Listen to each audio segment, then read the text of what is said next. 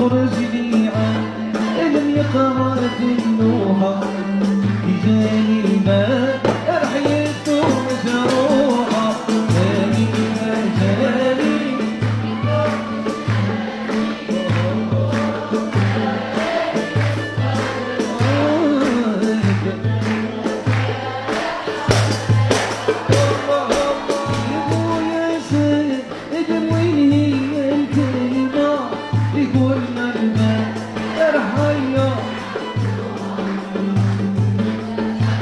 خطر على النبر